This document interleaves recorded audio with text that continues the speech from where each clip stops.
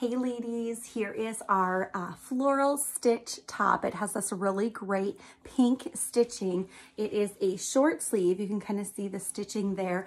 Um, and then you can see the stitching down the front. We have it paired with our gray popcorn cardigan. So, so cute. It has this really great popcorn texture to it.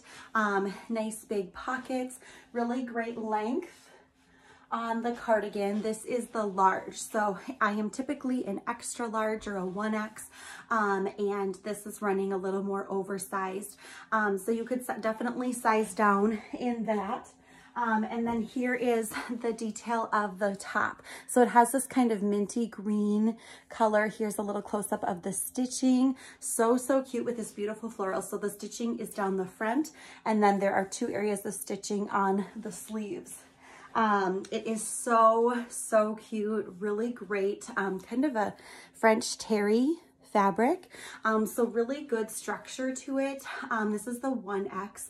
There is plenty of extra room in the body of this top. Um, so if you were between sizes, I would say you could a size down in this one. The other really cute combination is with our snap to it. Our snap to it cardigan.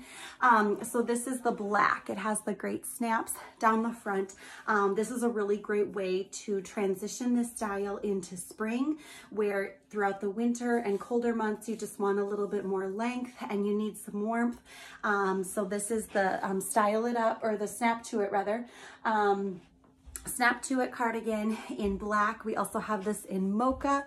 And then when spring comes, you can just wear the shirt on its own. So really some fun combinations. The um, floral stitch along with the um, popcorn cardigan. This is our wooden pink necklace. So, so cute with that as well.